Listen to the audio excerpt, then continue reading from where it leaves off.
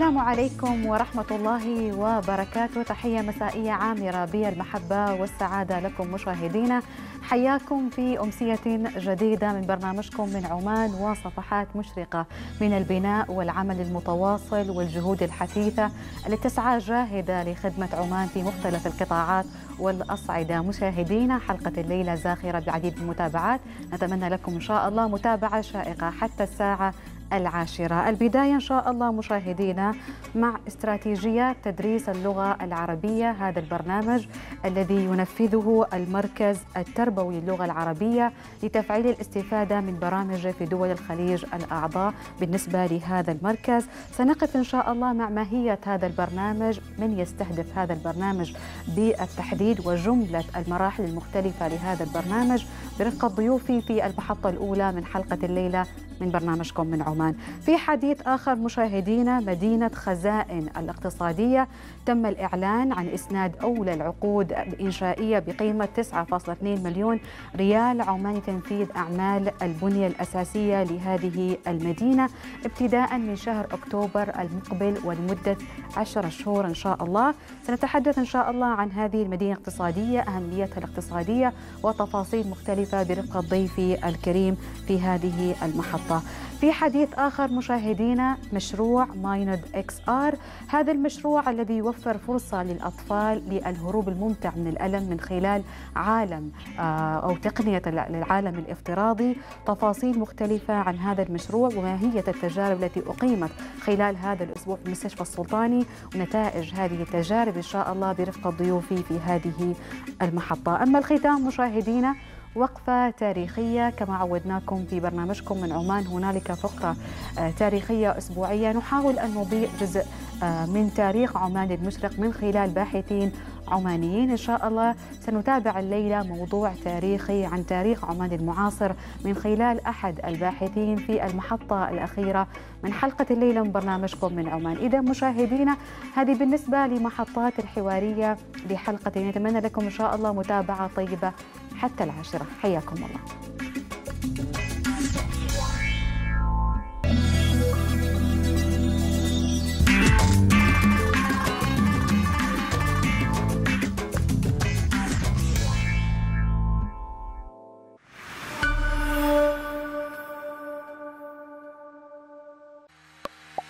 لأن وقتك محط تقديرنا واهتمامنا. نسعى دائما لجعل حياتك أسهل. عبر تقديم خدماتنا الإلكترونية لحساب تكلفة استهلاك المياه. قراءة العداد الذاتية.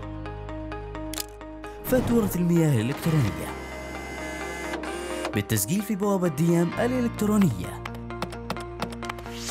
ديام نفخر بخدمتكم أينما كنتم.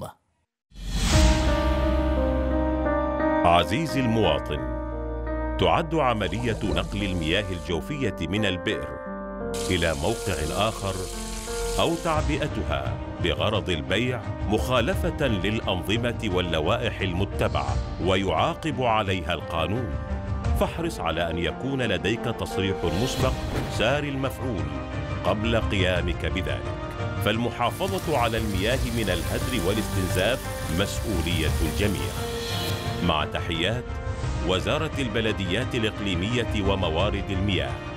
جودة وتميز نحو خدمات بلدية ومائية وشراكة مجتمعية رائدة. هل تريد المشاركة في بناء قاعدة معلوماتية للاقتصاد الوطني؟ المركز الوطني للإحصاء والمعلومات أداتك المثلى لتقدم من خلالها بياناتك التي يتم تبويبها واستثمارها من قبل الجهات المختصة لتحقيق فوائد اقتصادية وذلك من خلال مشروع المسح الاقتصادي الموسع والذي يشمل شركات القطاع الخاص في جميع محافظات السلطنة. ويسعى المشروع للإجابة عن مجموعة من الأسئلة منها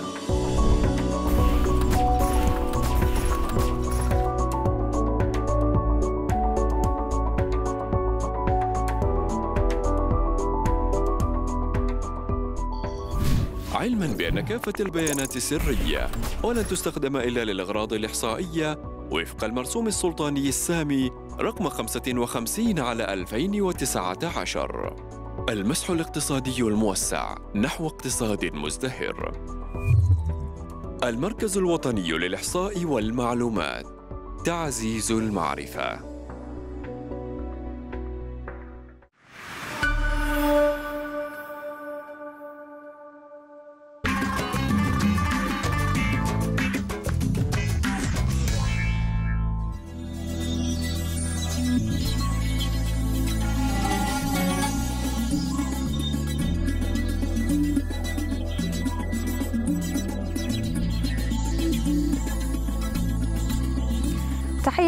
مشاهدينا من جديد تحية لكل من ينضم إلى متابعتنا وفي المحطة الرئيسية لحلقة اليوم. نتحدث عن استراتيجيات تدريس اللغة العربية هذا البرنامج الذي يأتي بتنظيم من المركز التربوي للغة العربية وذلك لتفعيل الاستفادة من برامج في دول الخليج الأعضاء. تفاصيل إن شاء الله عن هذا البرنامج وماهية هذا المركز برفقة ضيوفي الكرام. أرحب باسمكم مشاهدينا بدكتور عيسى بن صالح الحمادي مدير المركز التربوي للغة العربية لدول الخليج. مساء الخير دكتور حياكم الله في برنامج من عمان. سعد الله مساكم بكل خير. نرحب أيضا مشاهدينا بالأستاذة جميلة بنت غلام الزجالية مشرفة مجال أول من دائرة تنمية موارد البشرية بوزارة التربية والتعليم. مساء الخير أستاذة وحياك الله. الله يخليك. يعني بداية قبل ما نتحدث عن آه، هذا الموضوع قبل الهواء كنت تقول آه، كلمة جدا مهمة دكتور آه، فيما يتعلق بإنشاء هذا المركز. يعني تم إصدار البيان من مسقط تحديدا. نتحدث عن هذا الموضوع. طبعا ونحن في برنامج من عمان نقول من عمان تم الإعلان عن إنشاء المركز التربوي للغة العربية دول الخليج. حيث جاءت فكرة إنشاء المركز لتجسيد آه، طموحات آه، واهتمام آه، قادة الدول الأعضاء بمكتب التربية العربي لدول الخليج وتربية لطموحات المجتمعات الخليجية في الارتقاء بتعليم اللغة العربية نعم. ولذلك أعلن أعضاء معالي وزراء التربية أعضاء المؤتمر العام لمكتب التربية العربي لدول الخليج في عام 2007 في مسقط حيث كان مسقط وميلاد المركز التربوي للغة العربية لدول الخليج في عام 2007 بمسقط آه لاعتماد آه وإنشاء المركز وتأسيسه وتمت الموافقة أيضا على لائحة النظام الأساسي للمركز وعلى أن يكون مقره في إمارة الشارقة بدولة الإمارات العربية المتحدة وقدم معالي أعضاء المؤتمر العام الشكر إلى آه، صاحب السمو حاكم الشارقة لاستضافته للمركز بالمدينة الجامعية بالشارقة وتخصيص مبنى له نعم السؤال, السؤال المهم دكتور فيما نعم. يتعلق بهذا الموضوع هل نحن فعلا نحتاج إلى مركز يعنى بتطوير استراتيجيات تعليم اللغة العربية اليوم؟ نعم حتى يعني آه، آه، حتى آه، الآن التوجهات العالمية الحديثة كلها تسعى إلى توظيف كل المتغيرات الجديدة في تطوير العملية التعليمية بشكل عام وتعليم اللغة بشكل خاص في جميع الدول آه، ولكن نحن في الدول العربية لابد أن أيضا نهتم بتطوير تعليم اللغة العربية وتطوير تعليم اللغة العربية يحتاج إلى مركز متخصص في هذا المجال في مناهج وطرق تدريس اللغة العربية سواء في أساليب آه، تقويم الطلبة أو في استراتيجيات تدريس اللغة العربية أو في إعداد معايير ومؤشرات لتعليم اللغة العربية آه، أو في تدريب المعلمين آه، طبقا لهذه المتغيرات الجديدة. ولذلك نعم. هنا تأتي الحاجة الضرورية لأن يكون هناك مركز متخصص لأن يقوم بإعداد وتنفيذ برامج سواء في مجال التدريب أو مجال الدراسات أو المؤتمرات أو الندوات وكل ما يساهم في آه، تطوير آه، تعليم اللغة العربية وتعلمها نعم. وفي هذه الأيام أنتم في مسقط تقدمون برنامج أيضا متعلق بتطوير هذه الاستراتيجيات ويستهدف الصف الأول إلى السادس الابتدائي. نتحدث آه، أستاذة فيما يتعلق بهذا البرنامج بشكل عام. نحن حضرنا هذا البرنامج لمدة يومين. يعني بتاريخ 27 و 28 طبعا المجموعة اللي كانت حاضرة تقريبا نحن 30 مشرفة تربوية من الذكور والإناث ومدربين تربويين من مختلف محافظات آه، السلطنة جميل. آه، وإداراتها التعليمية. آه، طبعا هذا هذا البرنامج أو هذه الحقيبة كانت حقيبة تدريبية متكاملة تكونت من شقين. الشق الأول اللي هي تدريس استراتيجيات تدريس اللغة العربية بمهاراتها الأربعة الأساسية. كانت لدينا مهارات الاستماع نعم. ومهارات آه، المحادثة ومهارات القراءة ثم مهارات الكتابة والمكون الثاني الأساسي اللي تدربنا يعني عليه اللي اللي هو كان عن عناصر اللغة العربية جميل. وتدربنا في كيفية تدريس الأصوات تدريس مم. المفردات تدريس التراكيب اللغوية مم. طبعا نحن مناهجنا وأي منهج تعليمي في أي دولة تعليمية فيها يعني عدة مكونات أساسية مم. أهم مكون هي استراتيجية التدريس. نعم.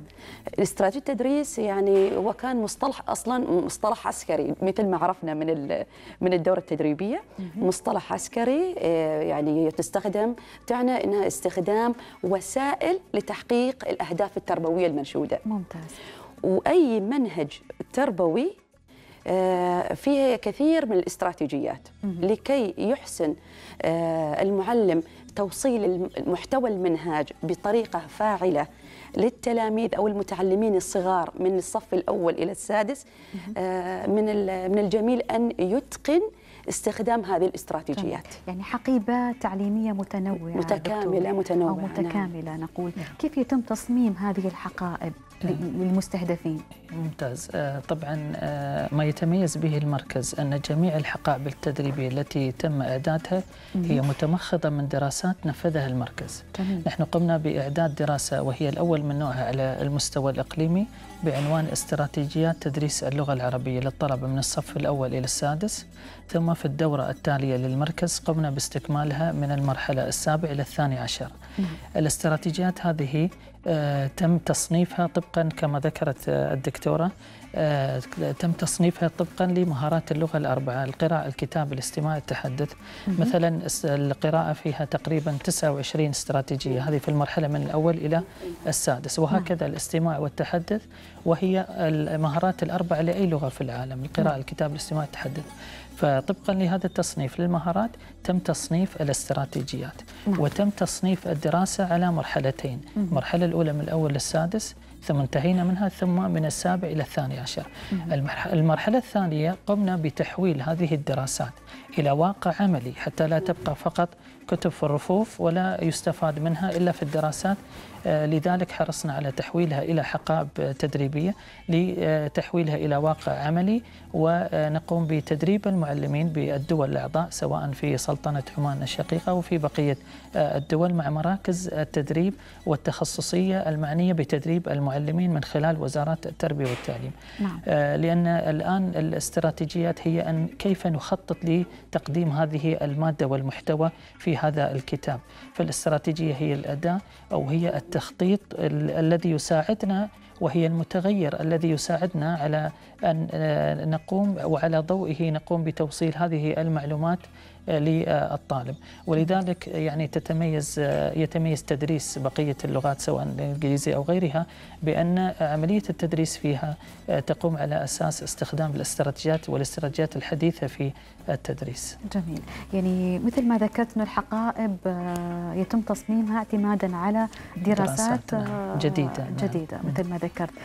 واقع آه، استراتيجيات في الوطن العربي عموما بالنسبة للغة العربية كيف كيف تقيمها سابقا كيف تطورت هذه الاستراتيجيات دكتور لنا؟ نعم سابقا لم لم تكن هناك استراتيجيات تستخدم في عملية تعليم اللغة العربية نعم. وبدأت بالتدرج وكما ذكرت آه، الأخت الدكتورة آه، بدأت بالتدرج وبدأت بجهود من يعمل في الميدان يعني بعض المعلمين يقومون باستخدام استراتيجيات جميل. من خلال اجتهادهم الذاتي ولكن عندما نقوم بإعداد دراسة وتكون مرجع وتحول إلى حقائب تدريبية فهنا نضمن بأن هذه وما تتميز به هذه الدراسات أنها دراسات محكمة نعم. ويشارك في تحكيم أدواتها جميع ذوي الاختصاص من في اللغة العربية في نعم. جميع وزارات التربية بالدول الأعضاء يشاركون معنا في تحكيم وفي تطبيق أدوات هذه الدراسات نعم. ولذلك يشارك معنا شريحة كبيرة نعم. فعندما نقوم بإعداد دراسة ومن هنا تأتي هذا السؤال السابق كما تكرمتي.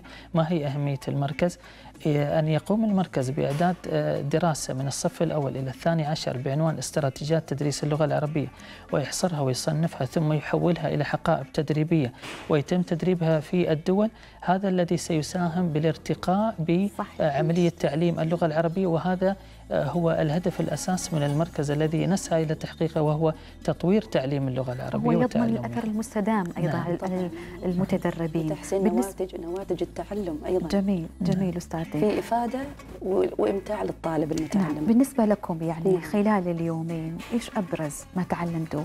والله إيه، يعني تعلمنا أشياء كثيرة مهم. أول ما بدأنا طبعا بدأنا باليوم الأول في اليوم الأول آه، بثلاث جلسات تدريبية وجلسة ختامية نعم. آه، في الجلسة الأولى آه، كانت هي طبعا جلسة ترحيب والتعارف بدأنا من الجلسة الثانية كان عن أدوار المدرب كيف يعد المادة التدريبية نعم. مدرب مدرب اللغة العربية ما هي الإجراءات؟ ما هي ال- الأدوات التي يستخدمها آه، للتدريب؟ للتدريب آه، على آه، استراتيجية تدريس مادة اللغة العربية. نعم. ثم في ال- الجلسة الثانية الثالثة آه، عرجنا إلى آه، إلى تدريس استراتيجية تدريس اللي هي مها- مهارات مهارة الاستماع مهارة المحادثة والكتابة. واليوم آه الحمد لله آه أخذنا آه استكمالا لليوم الأول اللي هي استراتيجية تدريس مهارات القراءة هي المهارات الكثيرة. لا عد لها ولا حصر بال- بالفعل استمتعنا نحن كثيرا عند التطبيق. وكذلك اللي هي عناصر آه مثل ما ذكرت آه كيفية تدريس الأصوات التمييز الصوتي آه كيفية تدريس المفردات مفردات اللغة العربية. آه بما أن يعني من المهم جدا أن أن نحن ننمي آه، الثروة اللغوية عن طلابنا المتعلمين صحيح. الصغار آه، لأن المحتوى غني. محتوى أو المادة العلمية لدى الطالب الآن في هذه الأيام مع وجود تطور في المناهج صحيح. غني جدا نعم. يعني. عموما دكتورة نستشعر حجم ما قدم يعني من روعة وجمال آه، في البرنامج من خلال حديث الأستاذة جميلة. هذا واجب وإن شاء الله هذه البداية ونحن اليوم يعني التقينا بإدارة التدريب. وفي الحقيقة نتقدم بالشكر والتقدير إلى وزارة التربية والتعليم وإلى المركز التخصصي لتدريب المعلمين وإدارته القائمة وأخص بالذكر سعادة الدكتور حمود الحارثي الذي تكرم بالحضور وقام بتكريم جميع المشاركين. ونقول هذه بداية مع المركز وهناك الكثير من الحقائب التدريبية. يعني خلال السنوات الماضية نفذ المركز العديد من الدراسات من عام 2014 إلى نهاية 2018 ما يقارب أكثر من 25 دراسة في. مجال تطوير تعليم اللغة العربية كلها تم آه، طباعتها وتوزيعها على جميع الدول أكثر من 30 إصدار تقريبا خلال السنوات الأربع وأيضا حولت إلى حقائب تدريبية يعني هناك عندنا حقائب تدريبية خاصة في آه، تطوير سياسات تقويم الطلبة. نعم. وأيضا هناك لدينا دراسة بعنوان معايير تعليم اللغة العربية آه، للصفوف من الأول إلى الثالث ثم الرابع إلى السادس وهكذا. والآن نحن في آخر مرحلة وهي من العاشر إلى الثاني عشر. وحسب علمي آه، آه، آه، دراسة خاصة إعداد دراسة خاصة بعنوان معايير تعليم اللغة العربية هي الأولى من نوعها. فأيضا صنفت على أساس المهارات الأربعة فيها المعايير وكل معيار له مؤشر أو أكثر من مؤشر. هذه المؤشرات سوف توظف في الدروس وفي النصوص على أنها نواتج وبالتالي تحدد لنا هذه النواتج. وهذه المؤشرات آه، الضمان آه، آه، تحقيق الأهداف والمخرجات للطلبة لكل مرحلة دراسية. جميل أيضا لدينا هناك مؤتمر بعنوان اتجاه الاتجاهات الحديثة في تدريس اللغة العربية المتطلبات والأبعاد والآفاق وسوف يتم تنفيذه في شهر يناير القادم. ونحن ندعو جميع ذوي الاختصاص للحضور والمشاركة من هذا المنبر الموقر. وسوف يتم تنفيذه في يناير إن شاء الله وهو الرابع ينفذ نعم. المركز. نعم. كل التوفيق لكم دكتور. طيب دكتور فيما يتعلق بصفة المركز بالنسبة للدول الأعضاء. ماذا يمثل المركز لهم؟ آه، المركز آه، له آه، شخصية اعتبارية مستقلة ويتخذ من إمارة الشارقة مقرا له. وهو أحد أجهزة مكتب التربية العربي لدول الخليج. وأيضا المركز له مجلس أمناء يتشكل من عضو ممثل من كل دولة من الدول الأعضاء وبالمناسبة كان آخر اجتماع بعد شهر رمضان آه، الماضي آه، في مسقط وبرئاسة عضو مجلس الأمناء دكتورة آه، زوين الكلبانية ترأست هذا الاجتماع. فكان آخر اجتماع هنا من منذ شهرين تقريبا.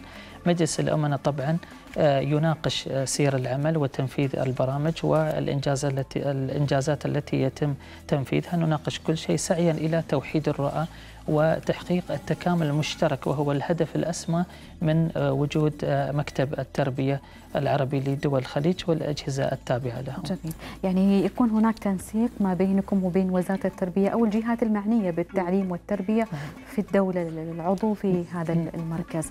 أستاذة جميلة بالنسبة لكم كيف تم اختيار المتدربين في هذا البرنامج؟ آه، وفقا ل يعني اللي هي خاصه المشرفين التربويين وال- والمدربين آه، للتربويين كان من الجنسين الذكور والإناث. نعم. طبعا آه، ومن مختلف آه، تعليميات آه، الإدارات التعليمية آه، يعني في. السلطنة بالمحافظات. آه، يعني على أساس إن الهدف الأسمى آه، وجود هذه الشريحة آه، ذات كفاءات متفاوتة آه، لتوصيل آه، فيما بعد آه، ما آه، تعلمناه من الحقائب التدريبية آه، إلى الميدان. آه، جاء في إطار من الخبرة آه، والدراية ب- يعني والإلمام. آه، ب- باستراتيجيات ومهارات تدريس اللغة العربية. ومعظمنا كان من التخصصات تخصص اللغة العربية والمجال الأول وأيضا المدربين اللي كانوا معنا والمدربات الأخوات المدربات أيضا آه، يعني من المجال الأول ومدربي اللغة العربية. نعم. عادة دكتور كيف تقيسون نجاح هذا البرنامج؟ هل هناك أدوات قياس معينة؟ آه، ينظمها المركز يقوم عليها يقوم بإجرائها بعد انتهاء كل برنامج في كل دولة عضو. نعم هناك أكيد يعني إحدى أدوات تقييم المدرب أو الحقيبة التدريبية أو التدريب بشكل عام و- وتنظيم الدورة التدريبية هي الاستبانة التي يتم توزيعها وأيضا تؤخذ بالاعتبار الملاحظات والتوصيات و أيضا إذا كان هناك مقترحات حسب احتياجات الدول يعني تختلف من دولة إلى أخرى. آه، فنستخدم هذه الاستبانة وهذا التقييم لأن يكون مرجعا لنا نسعى من خلاله إلى تطوير تنظيم وتقديم كل ما هو آه، أفضل ويلبي احتياجات هذه الدول نعم دكتور يعني في كل مجال لابد هناك تحديات بالنسبة في مجال استراتيجيات تدريس اللغة العربية إيش أهم التحديات اللي نواجهها اليوم؟ آه، الآن آه، يعني نحن دراسة استراتيجيات تدريس اللغة العربية الجزء الأول منها هي واقع استخدام الاستراتيجيات في عملية آه، التدريس. دائما في شيء في أي دراسة ننفذها أحد العناصر الأساسية في أي دراسة ما يسمى بالإحساس بالمشكلة أو وجود مشكلة. وهو ال- يعني الشعلة أو الشرارة الأولى من وجود مشكلة للقيام. بعمل الدراسة. فالإحساس بالمشكلة وجود المشكلة تمثلت في آه، افتقار آه، تدريس اللغة العربية في الدول الأعضاء آه، إلى استخدام الاستراتيجيات والدراية بها ومعرفتها والاطلاع عليها وأيضا تأتي مرحلة التدري- التدرب على آلية تنفيذها وكيفية استخدامها في عملية آه، التدريس نعم. فالتحدي هو أن هناك يعني وقد لاحظت الدكتورة آه، بأن هناك حتى في بقية الدول هناك آه، قد يكون استخدام مح- محدود جدا لاستراتيجيات آه، التدريس آه، خاصة في مجال تدريس اللغة العربية. ومن هنا جاءت نحن يعني استشعرنا هذا من خلال تنفيذ الدراسة. وخاصة الجزء الأول هو بعنوان واقع استخدام الاستراتيجيات. فأن هناك يعني استخدام محدود جدا للاستراتيجيات. فلذلك قمنا في الخطوة الأولى بإعداد الدراسة. ثم الخطوة الثانية حولناها إلى حقائب تدريبية حقيبة مدرب وحقيبة متدرب. والمرحلة الثالثة نقوم بالتدريب ونأمل من خلال هذا هذا التدريب وهذا وهذا البرنامج أن يتحقق الهدف. وسوف نستمر إن شاء الله لمتابعة آه، جميل. الارتقاء بتعليم اللغة العربية في جميع الدول مع وزارة التربية والتعليم. جميل. بالنسبة لكم في وزارة التربية والتعليم آه، أستاذة جميلة يعني هل هناك أيضا متابعة للمدارس مختلف المحافظات ما يتعلق بالاستراتيجيات؟ يعني ذكر نقطة الدكتور في حديثه بأنه سابقا كان هو مجرد اجتهاد معلم آه، ما لكن نعم، اليوم صحيح. هنالك دورات وبرامج تدريبية مختلفة. نعم. نتحدث آه، عن هذا الموضوع. آه، المعلم العماني آه، يستخدم هذه الاستراتيجيات. ولكن يعني بما أن الحين المناهج تطورت وصار التركيز على التعلم النشط. ومع وجود أنماط التعلم المختلفة يعني الطلاب سمعيون بصريون حركيون حسيون. كل هذه التنوع في أنماط التعلم يتطلب التنوع في استخدام الاستراتيجيات. نعم. آه الهدف الأساسي هو المتعلم الصغير هذا اللي نحن عندنا آه من الصف الأول إلى الصف السادس. نحن عندنا من الأول إلى الرابع آه المتعلم الصغير نعتبره. من الأول إلى السادس أيضا يعتبر آه، أيضا محتاج إلى التنوع. لوجود الفروق الفردية صحيح. الذكاءات المتعددة. هذه الاستراتيجيات آه، التي تعلمناها آه، يعني هي يعني تناسب نريدها أن تناسب جميع الذكاءات جميع أنماط التعلم المختلفة اللي موجودة عند جميل. الطلاب. جميل. كل التوفيق لكم. ان شاء الله في برامج مختلفة في مسقط وفي المراحل الدراسية اللاحقة كما ذكرت دكتور أنا أشكرك على وجودك اليوم في برنامج من عمان شكرا. الله يخليك. دكتور عيسى بن صالح الحمادي مدير المركز التربوي للغة العربية لدول الخليج والأستاذة جميلة بنت غلام الزجالية مشرفة مجال أول من دائرة تنمية الموارد البشرية بوزارة التربية والتعليم. شكرا جزيلا. شكرا جزيلا أحسنت تبارك الله للحديث بقية بعد هذا الفاصل ابقوا معنا.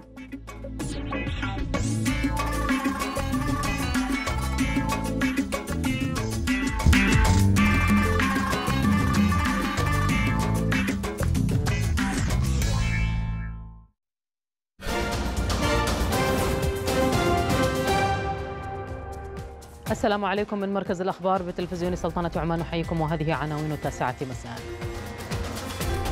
الثاني عشر من سبتمبر القادم آخر موعد لاستقبال طلبات القيد في السجل الانتخابي لانتخابات أعضاء مجلس الشورى للفترة التاسعة. وزارة الأوقاف والشؤون الدينية تحيي ذكرى الهجرة النبوية الشريفة بالتأكيد على معاني التعاضد والتعايش مع مختلف الأمم. اجتماع الاعتماد الأكاديمي بدول مجلس التعاون يبحث في صلالة مشروع الإطار الخليجي الموحد للمؤهلات الأكاديمية. الهيئة العامة لحماية المستهلك تضبط شبكة لتسويق منتجات مقلدة عبر منصة إلكترونية. الحكومة اليمنية تعلن استعادة السيطرة على مدينة عدن وتواصل تقدمها في الجنوب. ملكة بريطانيا توافق على طلب رئيس الحكومة بتعليق عمل البرلمان مؤقتا والمفوضية الأوروبية تطالب بسرعة تقديم مقترح تعديلات الخروج من التكتل. قتلى وجرحى في انفجارين استهدفا نقطتي تفتيش بقطاع غزة.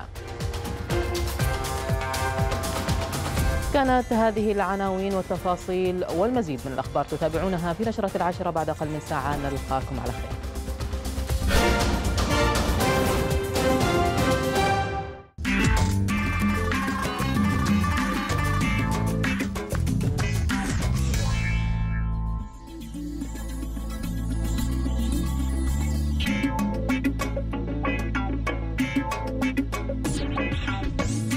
لكم مشاهدينا من جديد في ثاني محطة في حلقة نتحدث اليوم إن شاء الله عن مدينة خزائن الاقتصادية التي أعلنت عن إسناد أولى العقود الإنشائية بقيمة 9.2 مليون ريال عماني ابتداء إن شاء الله من شهر أكتوبر المقبل. تفاصيل مختلفة حول هذه المدينة الاقتصادية أهميتها اقتصاديا بالنسبة للسلطنة عامة برفقة الأستاذ خالد بن عوض البلوشي الرئيس التنفيذي لمدينة خزائن الاقتصادية.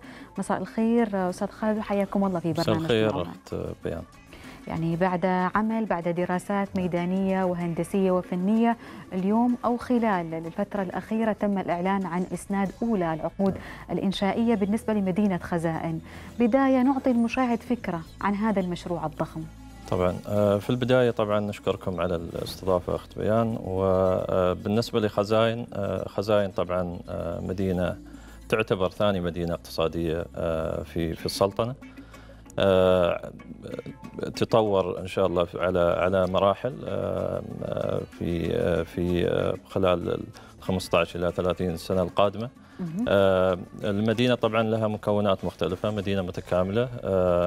المكون الرئيسي للمدينة راح يكون في في مجال اللوجستيات والمجال الصناعي أو القطاع الصناعي.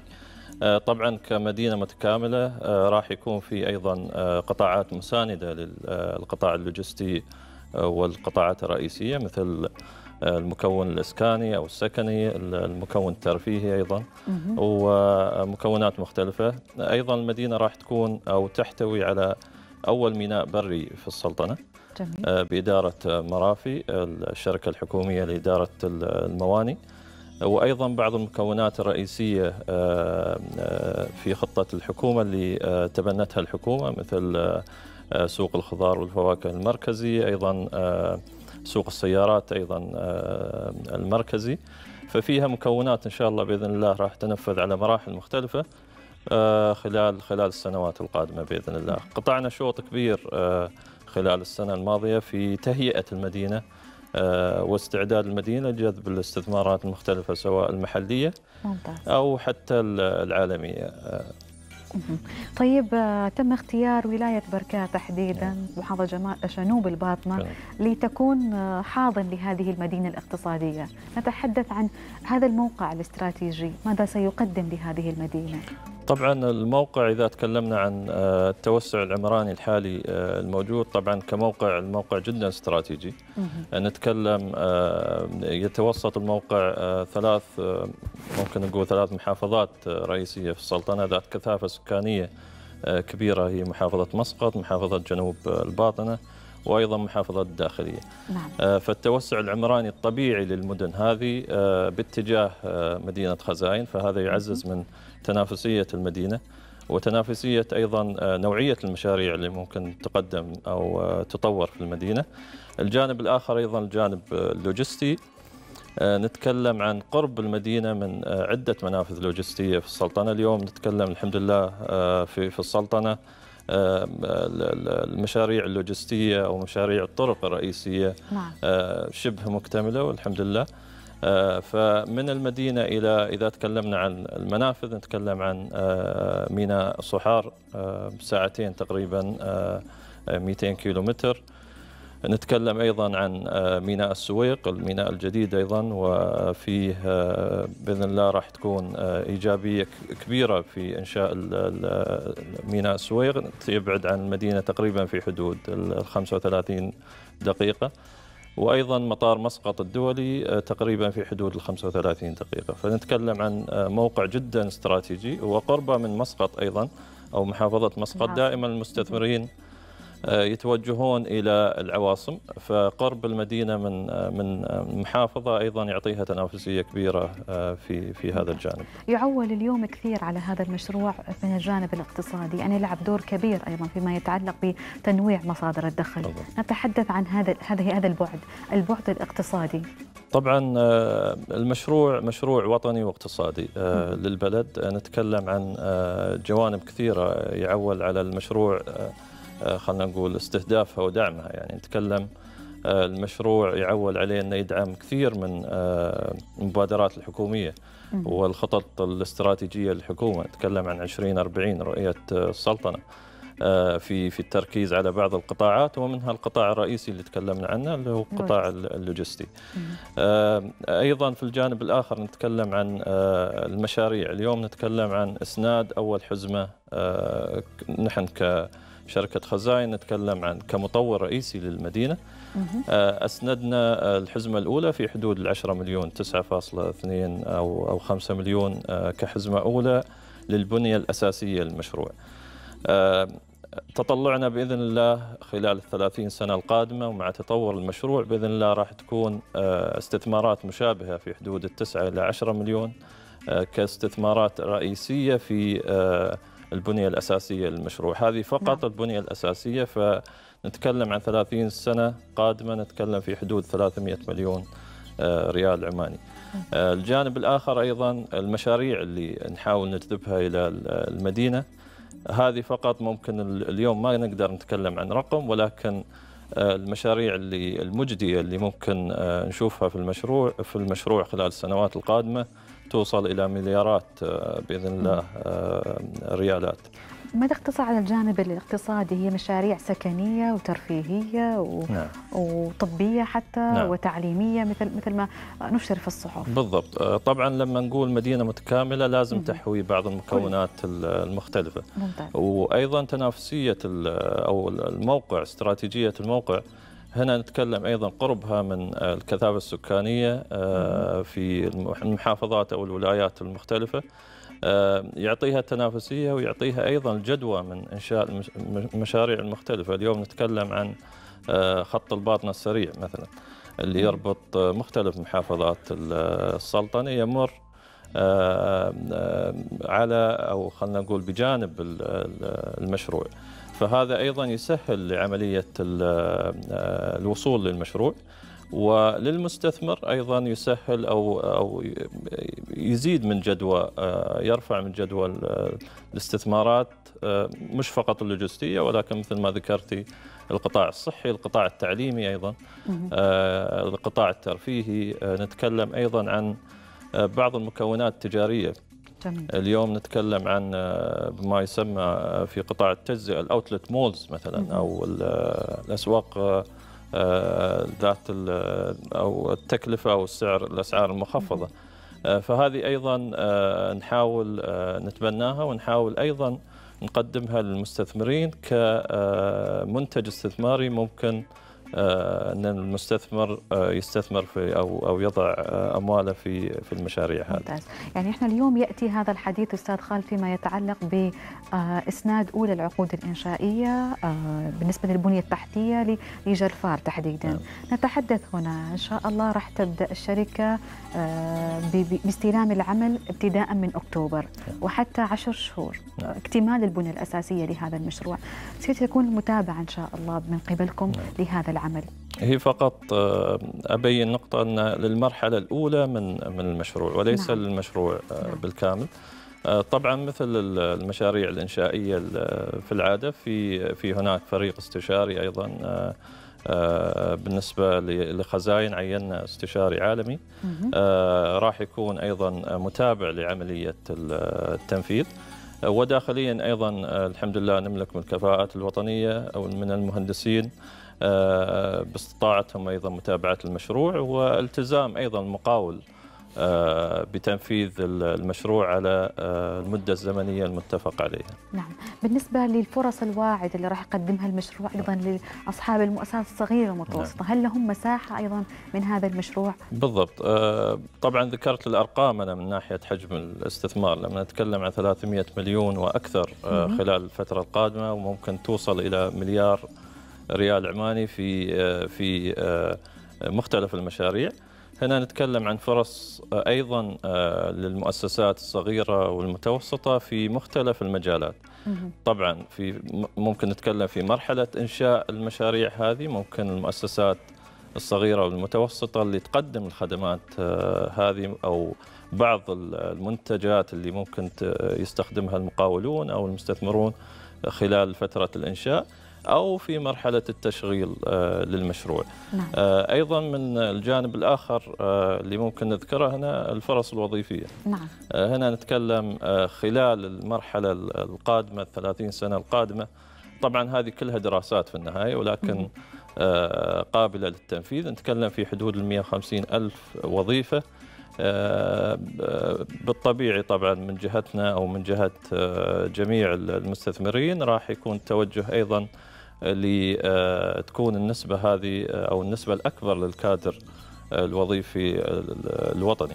نعم. آه، أيضا من جهتنا نحن كخزاين نحاول آه، آه، أن نأسس بعض المبادرات مع القطاع الخاص والجهات التدريبية راح نعلن عنها خلال الفترة القادمة لتهيئة الشباب العمانيين للدخول أو أو آه، إيجاد فرص توظيف في هذه المشاريع سواء في مرحلة التنفيذ مثل ما ذكرت أو آه، مرحلة التشغيل بإذن نعم. الله. طيب بالنسبة لاستقطاب ال- الاستثمارات ال- ال- ال- الأجنبية في هذا المشروع إيش الآلية؟ هل وقعتم بالفعل اتفاقيات مسبقة؟ يعني نعم. قبيل هذه المرحلة مرحلة الحزمة الأولى نعم بالضبط طبعا نحن بدأنا آه، بداية السنة هذه وقعنا أعلنا عن توقيع آه، اتفاقيتين لمشروعين أيضا فيهن استثمار أجنبي وبإذن الله خلال المرحلة القادمة راح آه، نوقع على أكثر من آه، اتفاقية استثمار لمشاريع مختلفة في قطاعات مختلفة. آه، جذب الاستثمار طبعا هو عادة آه، ممكن نسميه إنه صناعة الاستثمار. اليوم آه، أنت تخلق فرصة للمستثمر. آه، هي مش فقط آه، أراضي وتؤجر للمستثمر ولكن نحن هدفنا راح ينصب في خلق الفرص أو تأسيس الفرص وهيكلة الفرص الاستثمارية للمستثمرين آه، سواء المحليين أو آه، توجهنا الأكبر راح يكون أيضا لجذب الاستثمارات العالمية.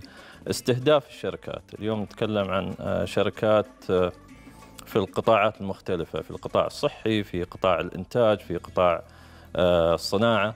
آه، راح إن شاء الله نبادر ون- ونأسس ونهيكل مشاريع قابلة للتنفيذ وقابلة للاستثمار المباشر آه، وجذب المستثمرين آه، العالميين، اليوم في تنافس كبير آه، في جذب رؤوس الأموال سواء محليا أو خلينا نقول حتى في المنطقة. ولكن هيكلة الاستثمار والاستثمار لما يكون كمنتج يقدم للمستثمر راح يكون أكثر جدوى ويسرع من جذب الاستثمارات العالمية بإذن الله إلى المشروع وإلى السلطنة بشكل عام. الجانب الآخر أيضا فيه المستثمرين المحليين آه، في كثير من المبادرات والمشاريع المحلية اللي ممكن قابلة للتوسع وأيضا مشاريع جديدة آه، طلعنا عليها خلال الفترة الماضية آه، فبإذن الله آه، ما راح نغفل أيضا المشاريع المحلية آه، فراح يكون لها نصيب أيضا في في المدينة. راح نبدأ إن شاء الله حملة ترويجية سواء في السوق المحلي في آه، سوق ال- المنطقة وعالميا إن شاء الله خلال الفترة ال- آه، القريبه القادمه بإذن نعم. الله. ذكرت في حديثك أستاذ خالد بأنه ما يميز أيضا هذه المدينة أنها راح تكون هناك آه، راح يكون هناك ميناء بري. نعم. ولأول مرة في السلطنة كما نعم. ذكرنا في في الحديث. راح تكون نقطة التقاء أيضا. راح تلعب دور كبير في قطاع اللوجستيات. نريد أن نقرب المشاهد أكثر يعني ميدانيا. كيف راح تمثل هذه المدينة؟ راح تكون مهمة أيضا في القطاع اللوجستي. ما بين نقل البضائع الاستيلاء والتصدير إلى آخره. نعم. طبعا آه، لما نتكلم عن المشاريع اللي آه، آه، نركز عليها حاليا آه، نركز على المشاريع اللي ممكن لها جدوى آه، ك آه، آه، خلينا نقول آه، إعادة تصدير آه، للمنطقة أو آه، للعالم. آه، ال- بحكم استراتيجية ال- أو الموقع الاستراتيجي لل- للمدينة آه، يعول عليه أنه يكون أيضا ملتقى لجميع آه، آه، الصناعات أو خلينا نقول آه، سوق مركزي لمختلف الصناعات سواء آه، أو مختلف أيضا القطاعات بحيث أنه يكون كمركز رئيسي للتوزيع لمختلف مناطق السلطنة اليوم. نتكلم عن سوق الخضار والفواكه مثلا نعم. المركزي ممكن أن آه، السوق المركزي يكون في المدينة وأيضا يكون تكون هناك أسواق مختلفة في آه، مناطق أو ولايات السلطنة بحيث آه، ممكن التوزيع آه، من خلال المدينة أو من خلال السوق المركزي هذا. فالموقع جدا يهيئ لاستثمارات ومشاريع مختلفة. وبإذن الله هي فقط هيكلة هذه المشاريع وطرحها للمستثمرين بإذن الله. نعم. يعني بعد انطلاق الحزمة الأولى آه، لإسناد هذه هذا المشروع آه، كبنى أساسية أولى أستاذ خالد تساؤلات كثيرة حول المرحلة الزمنية نعم. لهذا المشروع. نتحدث عن 30 سنة قادمة. كيف راح تقسم هذه هذه المراحل هذه الحزم؟ يعني مثل ما ذكرنا ابتداء من أكتوبر وحتى عشر شهور قادمة انتهاء الحزمة الأولى. بعدها آه، نتحدث عن الفترة الزمنية للمشروع. طبعا آه، الفترة والمرحلة الحزمة الأولى من آه، الاستثمار في البنية الأساسية راح يفتح لنا مساحات استثمارية في حدود الثلاثة مليون متر مربع ممكن استثمارها من قبل أصحاب الأعمال. طبعا راح تفتح أيضا لنا المشاريع الرئيسية كبنية أساسية. نتكلم عن موقع آه، الميناء البري وأيضا مشروع آه، سوق الخضار والفواكه المركزي وأيضا مشروع آه، سوق السيارات المركزي. فهذه المرحلة الأولى اللي هي ممكن نتكلم عنها في حدود 16 مليون متر مربع. عند اكتمال هذه المرحلة عند استقطاب عدد جيد من المستثمرين راح أيضا نفتح المرحلة القادمة بنفس الطريقة بإذن الله. على حسب الطلب الموجود في في في المدينة أو على المشاريع للمدينة. اليوم ما تقدر اليوم تفتح طبعا المدينة تتكلم عن 52 مليون متر مربع. فالمراحل أو جدولة المراحل جدا مهم في المشاريع الضخمة والمدن الاقتصادية مثل هذه. ولكن نتوقع نحن لما نتكلم عن 30 سنة للأمانة نحن هدفنا أن نقصر من هذه المدة. والطلب اللي قاعدين نشوفه حاليا كبير ولله الحمد سواء من السوق المحلي أو حتى عالميا. اليوم لما وقعنا أول اتفاقيتين كانت من استثمار أجنبي. نعم. فمع التسويق ومع هيكلة المشاريع نتوقع بإذن الله أن. يكون قبل بإذن الله. طبعا اليوم ما, ما نقدر نتكلم عن نحدد بالضبط ولكن الفرص موجودة. وأيضا جاذبية الموقع وجاذبية المشروع أيضا تحدد المدة الزمنية للتنفيذ نعم. كل التوفيق لكم أستاذ خالد. شكرا. شكرا. على وجودك اليوم في برنامج من عمان. نبارك لكم الخطوة الأولى من خزائن الاقتصادية. أستاذ خالد بن عوض البلوشي الرئيس التنفيذي مدينة خزائن الاقتصادية سعدنا بك. نتواصل معكم مشاهدينا في بقية مواضيعنا لحلقة الليل إن شاء الله بعد هذا الفاصل. ابقوا معنا.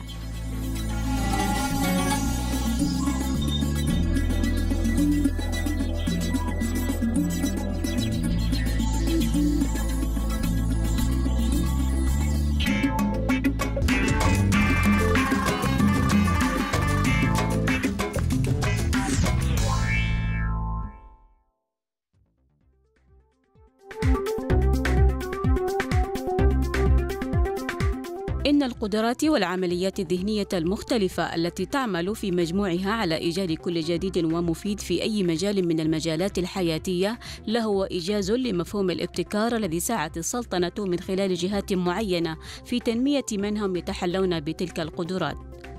وعملت السلطنة على رفع مستوى وعي الأفراد والمؤسسات حول أهمية الابتكار في التنمية الاجتماعية والاقتصادية وإشراك مختلف الجهات بالسلطنة في تأسيس إطار عملي فعال لجعلها مركزا مهما للابتكار.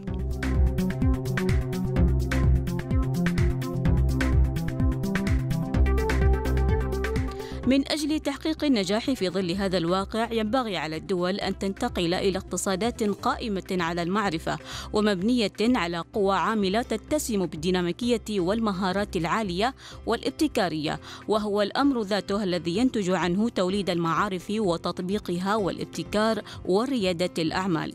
ويتأتى ذلك جليا في هدف الصندوق العماني للتكنولوجيا إلى أن تكون السلطنة مركزا جاذبا للعقول وهو يستثمر للعمانيين وغير العمانيين في بلادنا وغيرها من البلدان.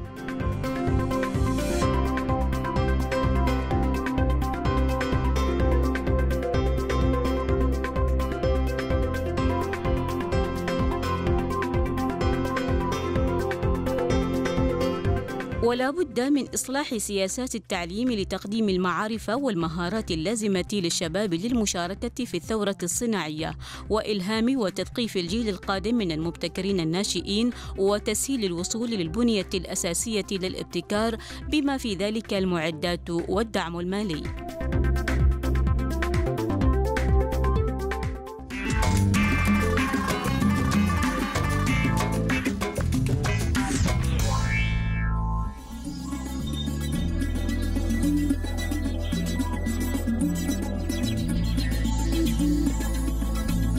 Mind XR مشاهدينا هي منصة توفر فرصة للأطفال للهروب الممتع من الألم باستخدام تقنيات عالم الافتراضي من خلال تفاصيل مختلفة إن شاء الله. تسردها لنا أميرة بنت عبد الله البوسعيدية مؤسس شركة آرا لتقنية المحاكاة. مساء الخير أميرة وحياك الله في برنامج من عمان. تم استثمار هذا أو دعم هذا المشروع مشاهدينا من قبل مسرع تكوين بالصندوق التكنولوجيا العماني للتكنولوجيا. إن شاء الله سنتحدث عن تفاصيل هذا الموضوع برفقة المها بنت محمد البلوشية وهي مدير تنفيذي لبرنامج تكوين. مساء الخير مساء النور حياكم الله في برنامج من عمان. يعني بداية أميرة يعني الهروب الممتع من الألم. نعم. كيف من الممكن أن يتم استخدام هذه التقنية لتخفيف الألم من المرضى؟ آه، طبعا مشروع مايند إكس آر هو مشروع آه، الهدف منه هو مثل ما ذكرتي آه، مساعدة الأطفال لتخفيف الآلام من خلال تشتيت انتباههم باستخدام تقنية الواقع الافتراضي. طبعا الفكرة هو أن الطفل يلبس نظارة الواقع الافتراضي ويعيش تجربة افتراضية تفاعلية ثلاثية الأبعاد من المكان الواقعي اللي هو موجود فيه يعيش تجربة مختلفة. وفي كثير من الحالات داخل المستشفيات آه، يحتاج فيها الطاقم الطبي إلى طرق لتهدئة الطفل وفي أغلب الأحيان هذه الطرق غير متوفرة بشكل كافي. فهي كانت الفكرة هي محاولة إيجاد حل يساعد الفئات آه، اللي عندها حاجة ماسة لتخفيف الألم. ممتاز.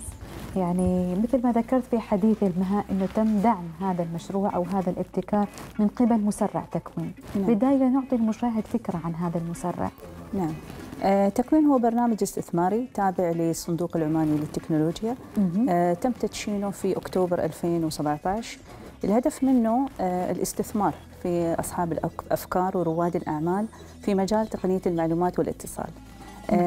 الاستثمار قيمته 50 ألف دولار أمريكي. ونأخذ الشركات الناشئة أو أصحاب الأفكار في رحلة من التدريب المكثف جدا يمكن أميرة راح تتطرق إليها لاحقا مدتها ثلاثة أشهر جميل. أيوة. الهدف أنه آه، في البداية يتم التحقق آه، من أنه هذه الأفكار آه، بالفعل لها أسواق ولها فئات مستهدفة تريد هذه الخدمة أو المنتج في القالب اللي في ذهن صاحب الفكرة جميل. نعم نعم. يعني مثل ما ذكرنا نحن بأنه تخفيف الآلام للأطفال عن طريق الواقع الافتراضي نقرب المشاهد أكثر. لكن قبل ذلك أميرة آه إيش سبب استهدافكم لمرضى السرطان تحديدا؟ آه طبعا آه نحن المرحلة الأولى آه كان آه، ارتئينا أن نركز في التجارب على مرضى السرطان. الهدف أن الحل هو حل لجميع الأطفال. اللي يحتاجوا إلى تشتيت الانتباه وتخفيف الآلام. لكن اخترنا مرضى السرطان لأن هي الفئة الأكثر حاجة لتخفيف الآلام. طبعا نعم. هذا أول شيء يمكن كان الفريق كان أحد المشاركين هو أيضا هو شخص كان يعاني من السرطان وهو متعافي من السرطان. آه الشيء الثاني أن طفل السرطان هو من الأطفال اللي يتعرضوا آه، خلال فترة العلاج إلى مراحل نوعا ما تكون متعبة وقاسية بعد على الأب والأم مثل العلاج الكيماوي والإشعاعي والعمليات الجراحية. آه، يتعرض نفس الشيء لمرحلة من الاكتئاب وغيره. آه، نفس الشيء يتعرض خلال فترة علاجه إلى تخدير عام بشكل مكثف وكبير لأنه يكون بحاجة أنه هو يسوي أشعاعات بشكل مستمر. فيضطر أنه هو يمر بمراحل آه، صعبة. فبالنسبة لنا كان أنه إذا نجحت التجربة أو نجح المشروع لهذه الفئة اللي هي في أمس الحاجة لهذا النوع إذا ممكن تنجح بعدين للفئات الثانية من الأطفال. فهي بالنسبة لنا مرحلة أولى والنية هي أن إحنا بعدين نتوجه إلى العيادات اللي تقدم خدمات أو المستشفيات اللي تقدم خدمات للعلاج الأطفال بشكل عام. جميل. نقترب أكثر من آلية عمل هذا التطبيق على الأطفال. نعم. إيش إيش المحتوى اللي يعرض للطفل أثناء آه، العلاج؟ هو مثل ما ذكرت مها طبعا المشروع نحن بدينا نشتغل فيه من خلال برنامج تكوين. فأول ما بدينا نشتغل هي عندنا ثلاثة أشهر كانت عمل مكثف. آه، يمكن شيء اللي تعلمناه إنه يمكن شيء يختلف شوية عن برامج ريادة الأعمال الأخرى. أن قبل تبدأ بتطوير المحتوى أو المشروع وتجربته يمكن هذه الطريقة اللي اتبعها معظمهم أنه طور التطبيق وبعدين جربه وهنا تقدر تثبت نجاحه أو فشله. لكن هذه طريقة أصعب في التعلم لأن هنا بتكون صرفت وقت وجهد ومال وممكن أن النتيجة تكون عكس ما أنت تتوقع. فنحن بدينا في البداية في مرحلة بحث للفكرة من خلال مقابلات زيارات. تكلمنا مع ناس في الطاقم الطبي ونفس الشيء مع أطفال مرضى آه، ومصابين متعافين من الكبار نفس الشيء ومع الأهالي. تعاونوا معنا فرق تطوعية وجمعية مرضى السرطان المستشفيات نفس الشيء المستشفى السلطاني ومستشفى الجامعة. فحاولنا نعرف أكثر ونفهم أكثر. آه، هل فعلا آه، الفكرة اللي جينا وحابين نحن نطبقها هي فعلا بتكون مفيدة؟ غير عن هذا اطلعنا على الدراسات العالمية اللي تمت قبل من خلال الجامعات آه، وتم نشرها والتجارب اللي خاضتها المستشفيات أو نماذج لمشاريع مشابهة لشركات آه، عالمية. فشفنا أن النتائج كلها مبشرة بشكل إيجابي لكن كان ضروري أن نحن نعرف هل هي فعلا بتكون مجدية على الطفل في المجتمع العربي وفي المجتمع العماني؟ لأن نحن عندنا الثقافة تختلف عن الدول الأخرى فممكن النتيجة عندنا تكون مختلفة عن الدول الثانية. فلذلك آه، اتفقنا مع المستشفى السلطاني في مركز الأورام أن نبدأ بتجريب آه، تطبيقات للواقع الافتراضي. المرحلة الأولى آه، ارتئينا أن نحن ما نبدأ بتطوير منتج خاص. اخترنا بعض التطبيقات المتوفرة للأطفال آه، واستخدمناها مع الأطفال اللي هم كانوا موجودين في جناح الأطفال في مستشفى السلطاني. نعم. وبعدين بدينا بتطوير نسخة أولى لكن هذه النسخة مثل ما ذكرت أن حاليا هي تحت التطوير. وعملية التطوير تحتاج أن إحنا نطور نسخة ونرجع نفس الشيء نستشير فيها المستشفى ونقربها مع الأطفال. جميل. يعني هذه هذا البرنامج نهى من إخراجات آه، برنامج تكوين آه، بالصندوق العماني للتكنولوجيا. اليوم إيش أنواع الدعم اللي تقدمونها للشباب بهذا البرنامج؟ آه، مثل ما ذكرت نحن نقدم آه، آه، مبلغ استثماري بقيمة آه، 50 ألف دولار أمريكي. ويمكن قوة البرنامج تكمن في محتواه مثل ما ذكرت أميرة يعني نعم. هذه هي يمكن نقطة التميز فيه. إنه البرنامج يعطي جرعات لهذه الشركات الناشئة بطريقة علمية وممنهجة. نعم. يعني مثل ما ذكرت أميرة جزء من البرنامج أنه هم يروحوا يعني إلى أرض الميدان مثل ما يقولون ويبدأون أنه هم يجربون وهذا جزء أيضا هم مفروض آه، يعني جزء من البرنامج وإحنا أيضا نراجعهم في النتائج آه، اللي هم يجلبوها ونناقشهم. حتى في صيغة السؤال. إنه إحنا مفروض ما نتكلم آه، مع الفئات المستهدفة بصيغة ال- الحل نتكلم معاهم. آه، بصيغة المشكلة مشكلة. عشان نفهم المشكلة نعم ونعرف. نحلها بالطريقة الأمثل ممتاز يعني في المستشفى السلطاني مركز الأورام تحديدا آه تم تجريب هذا التطبيق النتائج لماذا خرجتم؟ آه، أول شيء بما أن ذكرنا المستشفى السلطاني فأنا أحب أشكر المستشفى السلطاني على دعمهم للمشروع. وكان الدعم كان من منطلق إيمانهم أنهم أيضا يريدوا أنهم يستجلبوا تقنيات تساعد الأطفال. يعني من اليوم الأول اللي رحت لأن المستشفى السلطاني جلست مع الممرضات. أول ما قلت الواقع الافتراضي قالوا أيوة نعرف. نحن أساسا كنا نريد نبدأ يعني نستخدم هذه التقنيات للأطفال عندنا لأن محتاجينها. كانت هذا بالنسبة لي يمكن أكبر دفعة هي إنه أنا وجدت إن الحاجة موجودة يعني ال- هم كانوا محتاجين لطريقة لتخفيف الآلام للأطفال. فاتفقنا على أساس إن إحنا ممكن نبدأ نسوي نجرب وبتكون بعد تحت مظلة بحث علمي طبي بإشراف من الأطباء والممرضات وكان دعمهم مستمر ف أنا بشكل شخصي آه، جربتها مع بعض الأطفال والممرضات بدورهم بعد كانوا آه، بما أنهم متواجدين مع الأطفال يعني بشكل أكبر آه، فعدد الأطفال تقريبا اللي جربنا معاهم يتراوح يمكن إلى 40 طفل. كانت النتائج بالنسبة لنا جدا إيجابية آه، ومحفزة أن إحنا نستمر. آه، العينة شملت كم طفل تقريبا؟ آه، حاليا لحد الحين تقريبا اللي جربنا معاهم مال 40 طفل أو أكثر ولكن آه، نحن ناويين طبعا نستمر بشكل أكبر إن شاء الله. آه، لكن التجارب الأولية اللي سويناها مع الأطفال اللي هم منومين داخل القسم آه، ويحتاجوا إنهم ياخذوا عينات دم باستمرار في غرفة علاج آه، لازم يتلقوا فيها بعض العلاجات. ردة فعل الطفل لما يدخل هذه الغرفة كانت سلبية بشكل كبير لأنه هو تعود إن هذه الغرفة فيها عينات دم أو. غيره. فصاروا الممرضات يستخدموا نظارات الواقع الافتراضي مع الطفل قبل لا يدخل الغرفة. ويقوموا انتباهه. نعم. قبل لا يدخل الغرفة حتى هو من البداية يكون نفسيا مستعد يعني. فعدد الممرضات قل. كان في السابق ممكن مثلا خمس أربع ممرضات لطفل واحد بس عشان ياخذ عينة دم. أيوة. نعم. يعني حتى يحاول إنه هو يلهي حد. يخلص ال- العينة. الوقت تقلص. كان ممكن يوصل ل 30 دقيقة صار 10 دقائق عدد الممرضات. ممكن. يكفي ممرضة واحدة أو ممرضتين. بالإضافة لأن داخل آه، غرف الأشعة مثل غرفة السي تي اللي هي الأشعة المقطعية. كان بعض الأطفال يضطروا أن هم ياخذوا تخدير عام مع أنهم ما محتاجين. فقط حتى يهدوا الطفل لأنه يكون خايف موجود في غرفة آه، روحه. فجربوها مع طفلين. الطفلين ما احتاجوا لتخدير. ممتاز. وكان هذا بالنسبة لهم أيضا نتيجة يعني سعيدة للطبيب اللي موجود جداً. أيوه. آه، جربه بعد مع طفل كان رايح لغرفة العمليات. فوصل غرفة العمليات هو كان في قمة السعادة وما كان. راضي خلص النظارة. فهذه كلها بالنسبة لنا كانت مؤشرات إيجابية. آه، ومنها نبدأ نحن نأخذ بعد ال- التغذية المرجعية.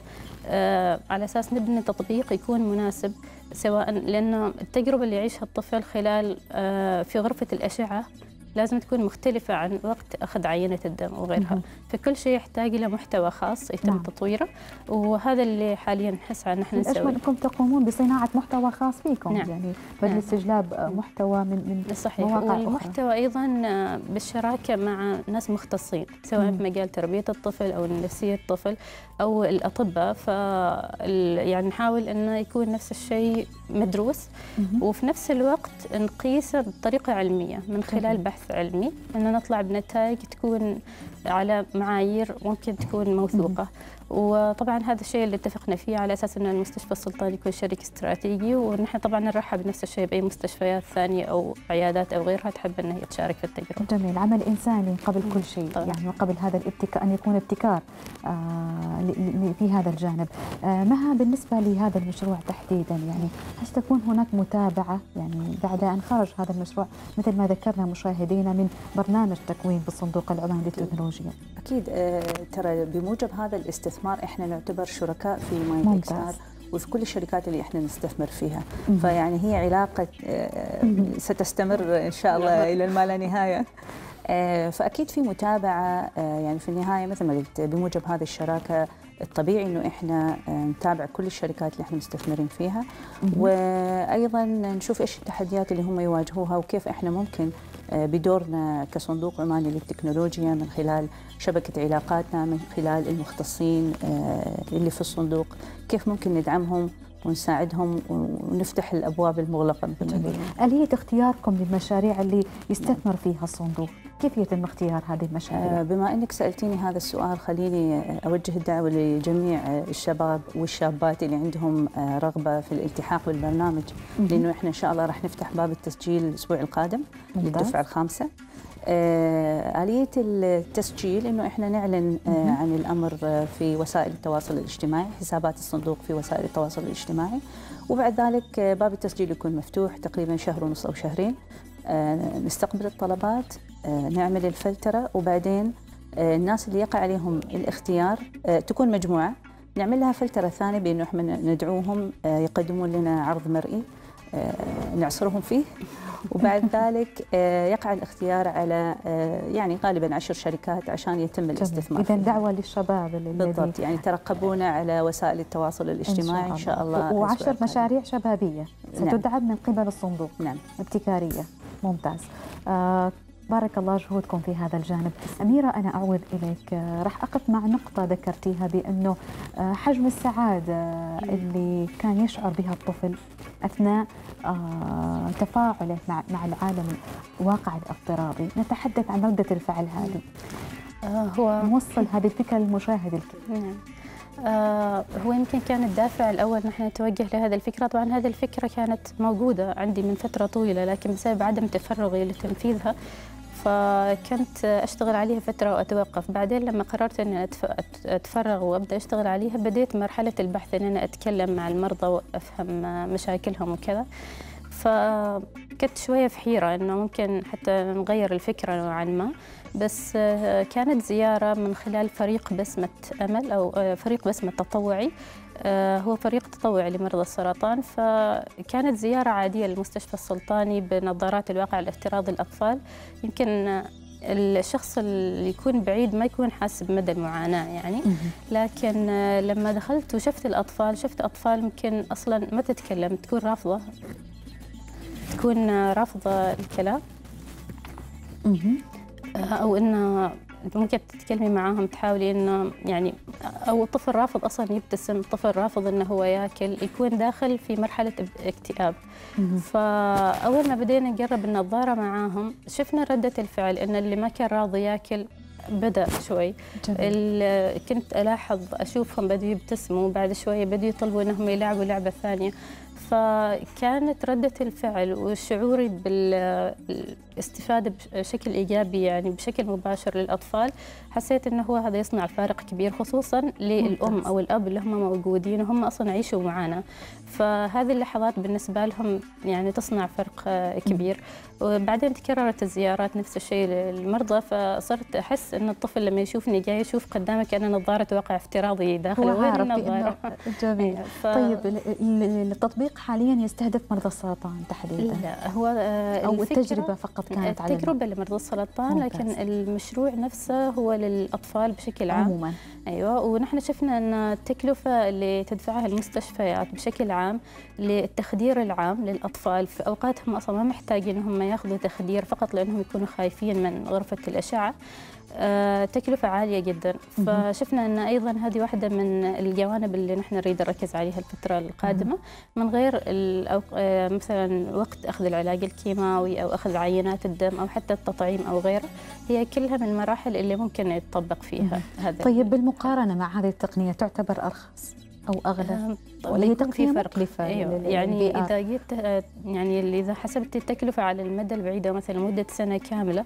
آه، بيكون في فرق كبير في التكلفة بالإضافة إلى أنه آه، هي أكثر امانا إذا جيت تقارنيها مع مهدئ عام الطفل ممكن مثلا في حالة مريض السرطان ممكن 20 مرة في السنة هو. ياخذ تخدير عام نعم فهي من ناحية صحية حتى حتى وأيضاً من الصحية تكلفة. يعني نعم. من الناحيه الصحية تكون أيوة. مضرة آه مها بالنسبة لكم اليوم أنتم في هذا الحقل حقل ريادة الأعمال ودعمكم للشباب المبتكرين إيش أهم التحديات تواجه شبابنا وكيف يعمل أيضا الصندوق على تذليل هذه التحديات طبعا التمويل واحد من هذه التحديات بكل تأكيد وأنا أعتبر أن التمويل أصبح يمكن ما تحدي جدا. كبير لأنه في كثير آه، من البرامج اللي نعم. تعمل على دعم الشباب بشكل أو بآخر جميل. سواء ماليا أو عن طريق آه، يعني تقديم آه، دعم ومشورة في نقطة أنا بغيت أذكرها أيضا من ضمن الأشياء اللي إحنا نذلل بها الصعاب مثل ما أنت ذكرتي آه، إنه إحنا لبعض الشركات نضاعف قيمة الاستثمار آه، دائما عندنا في في تكوين آه، بعد ما تخلص الثلاثة أشهر عندنا آه، يقع الاختيار آه، على شركة من قبل مختصين في مجال الاستثمار وفي المجالات التقنية. آه، نختار شركة نضاعف فيها قيمة الاستثمار. مم. على أساس أنه إحنا نعزز من فرص أيضا آه، نجاحها وانتشارها آه، في وقت أسرع وبشكل كبير.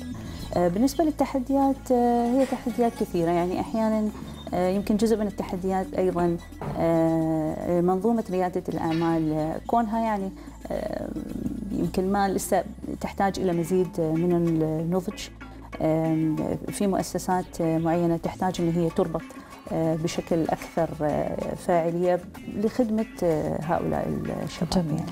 يعني في ختام هذا الحديث الخطوة القادمة أميرة فيما يتعلق بهذا المشروع الخطوة القادمة آه، بدينا نحن أن نشتغل على النسخة الأولى آه، يحتاج أن إحنا نشتغل على تطوير النسخة. مهم. آه، نحتاج أن نكمل بناء الفريق فريق العمل اللي يشتغل على هذا المشروع. وهذا يكون بالتوازي مع تجريب التقنية في المستشفيات أو العيادات. جميل. حتى نوصل إلى النسخة اللي هي نعتبر هي نسخة مرضية ممكن أن هي تطلع للمستشفيات كنسخة نهائية. جميل. كل التوفيق لكم في تحقيق هذا الهدف المنشود. شكرا أميرة بنت عبد الله البوسعيدية مؤسس شركة آر لتقنيه المحاكاة. شكرا أميرة. والشكر موصول لمها بنت محمد البلوشية مدير تنفيذي لبرنامج تكوين بالصندوق العماني للتكنولوجيا. شكرا مشكلة. نتواصل معكم مشاهدينا في حلقة الليلة ببرنامجكم من عمان. كما ذكرت في مقدمة الحلقة بأن هناك فقرة تاريخية أسبوعية ستكون مسجلة وبتقديم آه، أحد الباحثين العمانيين في مجال التاريخ العماني. نتحدث هنا عن تاريخ عمان الأرض والإنسان تاريخ عريق يمتد بجذو- بجذوره في عمق الزمن. شكلت عمان حلقة وصل بين شبه الجزيرة العربية والعالم القديم كما تعلمون. سترافقنا إن شاء الله هذه الفقرة كما ذكرت مشاهدين. نقترب أكثر على آه، تاريخ عمان منذ ما قبل الإسلام حتى العصر الحديث في سلسلة متصلة مع عدد من الباحثين في التاريخ العماني. حلقة اليوم إن شاء الله نتحدث عن موقع عمان الجغرافي والعوامل الجيوسياسية التي أكسبتها أهمية بين حضارات العالم القديم. تفاصيل أكثر حول هذا الموضوع إن شاء الله برفقة الباحث في التاريخ العماني الدكتور سليم الهنائي. نشاهد معا.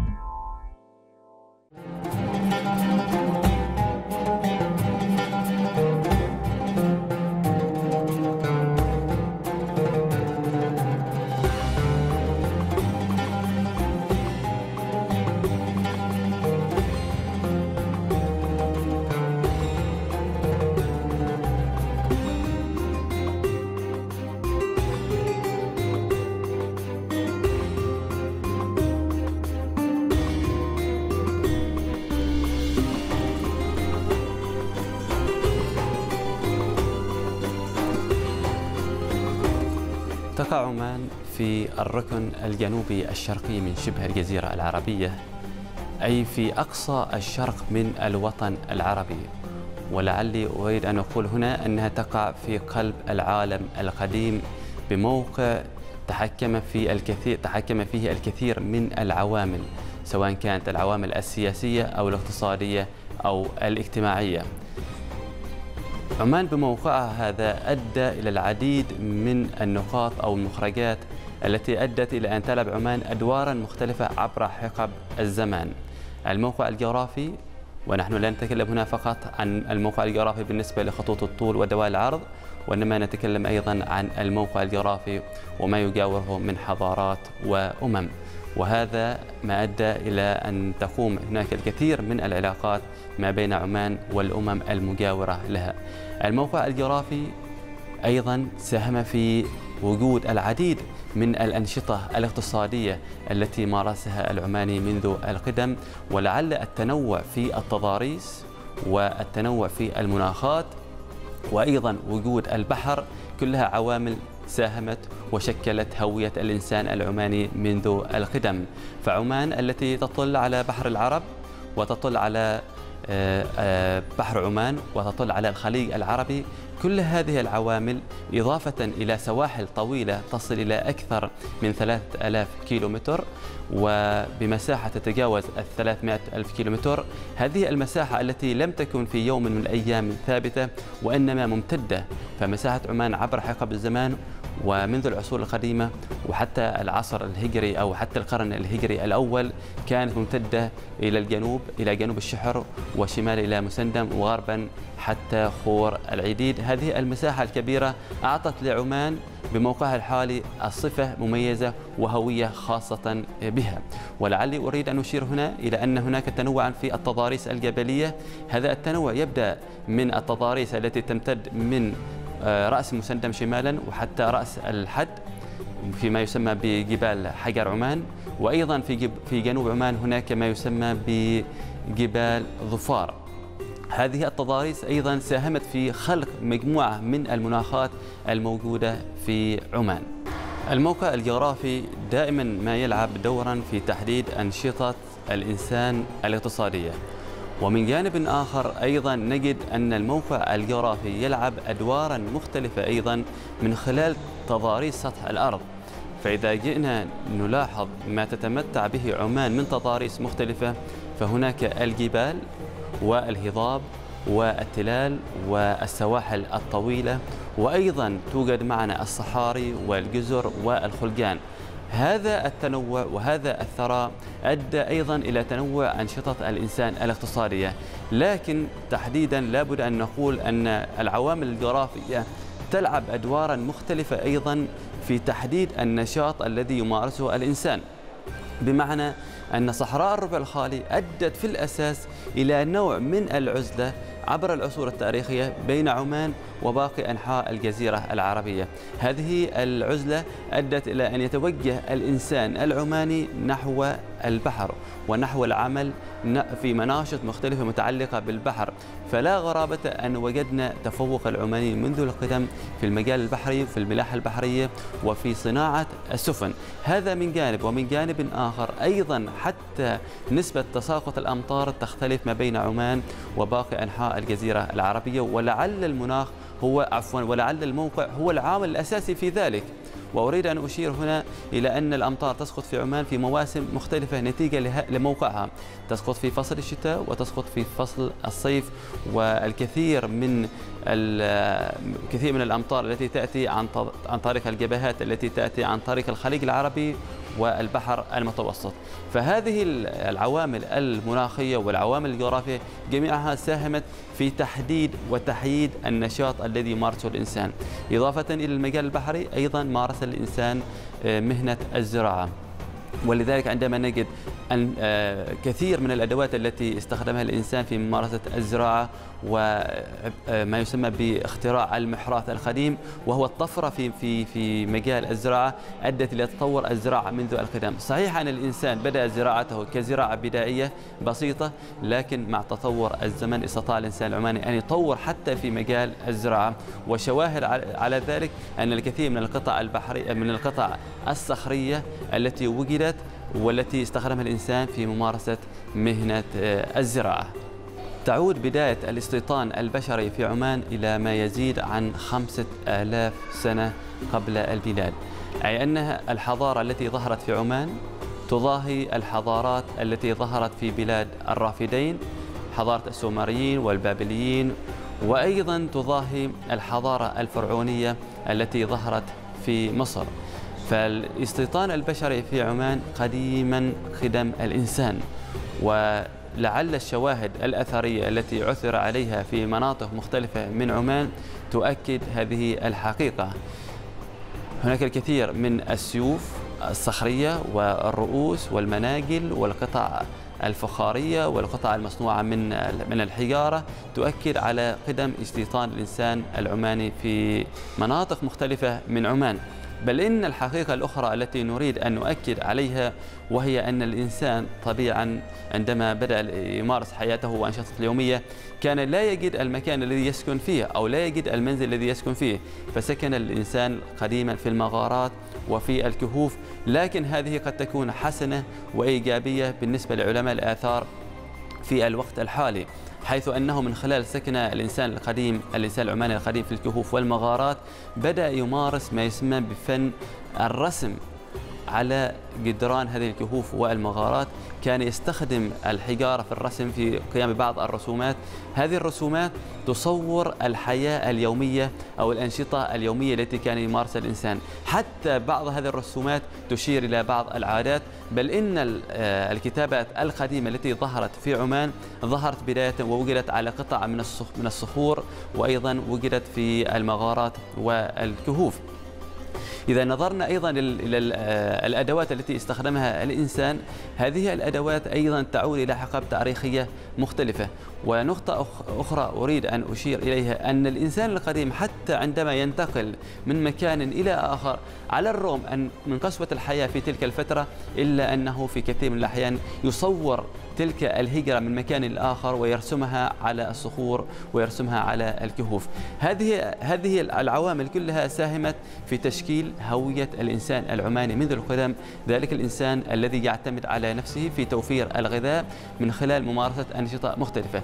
لم تكن الممارسة فقط ممارسة رعوية القيام بمهنة رعي الأغنام وإنما أيضا ممارسة الزراعة. بل إن الزراعة وصلت في بعض الفترات إلى نس إلى إلى درجة من التقدم وإلى درجة من الرقي في كيفية استخراج الماء من باطن الأرض عن طريق حفل الآبار وأيضا والأهم من ذلك عملية شق الأفلاك والتي تحتاج إلى هندسة فائقة. ولا توجد أو لا تتوفر هذه الهندسة ولا يمكن القيام بذلك إلا في أماكن محددة يحددها الموقع, الموقع الجغرافي وهو ما ظهر في عمان. دائما ما يلعب الموقع الجغرافي أدوارا مختلفة في التفاعل مع الحضارات والأمم المجاورة. لكن في بعض الأحيان قد يكون هناك أدوارا إيجابية يلعبها الموقع وفي بعض الأحيان قد تكون أدوارا تأتي بجوانب سلبية على الموقع. نلاحظ أن الموقع الجغرافي لعمان دائما ما كان الإنسان منذ القدم يعرف أهمية هذا الموقع ويعرف الأدوار التي قد يلعبها هذا الموقع من إيجابية. صحيح أن الموقع الجغرافي والإطلالة على السواحل الطويلة هذه وعلى البحار قد تكون عامل إيجابي في التواصل مع العالم الخارجي في ممارسة أنشطة مختلفة، لكن في بعض الأحيان وفي أحيان كثيرة إذا لم يحسن الإنسان التعامل مع أهمية هذا الموقع ومع إيجابياته ومميزاته قد يكون قد يأتي بجانب سلبي عليه. وهذا ما حصل بالنسبة للموقع الجغرافي لعمان حيث نلاحظ أن الموقع الجغرافي ساهم في وجود نوع من التواصل والتفاعل ما بين عمان والحضارات المجاورة فالموقع الجغرافي أدى بدور كبير جدا في أن ينطلق الإنسان العماني ويتفاعل مع الحضارات المجاورة بل وصل إلى مناطق بعيدة إلى جنوب شرق آسيا وإلى الصين نتيجة لهذا الموقع.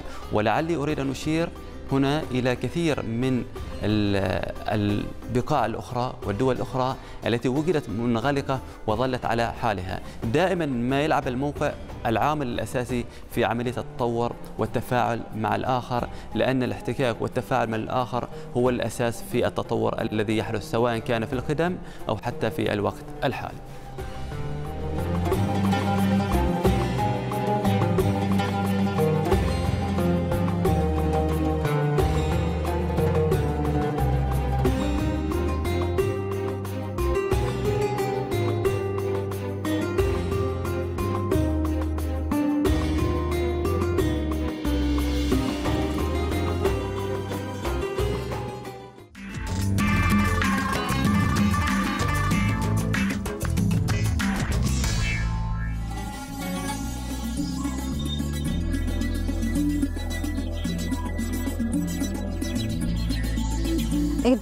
الموقع الجغرافي لعمان أكسبها أدوارا حضارية متعددة في حقبات زمنية مختلفة. هذا موضوع أو مختصر موضوع الفقرة التاريخية الأسبوعية لهذا الأسبوع. ترقبوا إن شاء الله هذه الفقرة مع باحث آخر يوم الأربعاء القادم إن شاء الله من برنامجكم من عمان.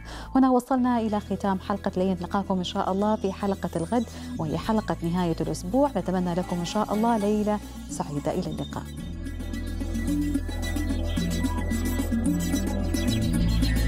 you.